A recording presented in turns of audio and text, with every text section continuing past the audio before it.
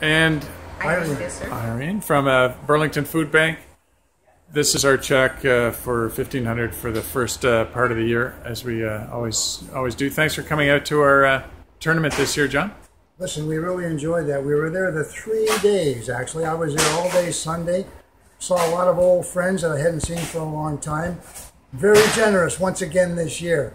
Talked to Greg Moore. I talked to a whole bunch of people that I used to play ball with. Uh, the guys kicked in $422 in cash. It was always kind of funny watching those guys because they would have forgotten to bring the food that they were supposed to bring.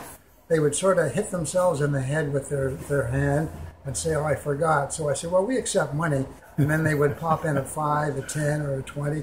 And it was just great. Nice seeing the guys. And we really, really appreciate the support that the Burlington Old Timers Slo Pitch has, has uh, given us over the last couple of years. Thank you very much for this check today. Thank you. Thanks, guys.